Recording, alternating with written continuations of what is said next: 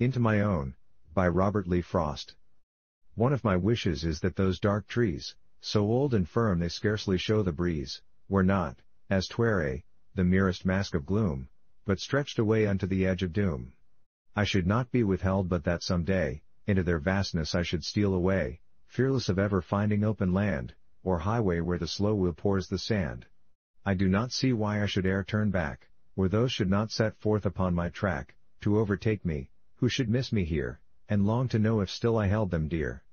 They would not find me changed from him the new, only more sure of all I though was true.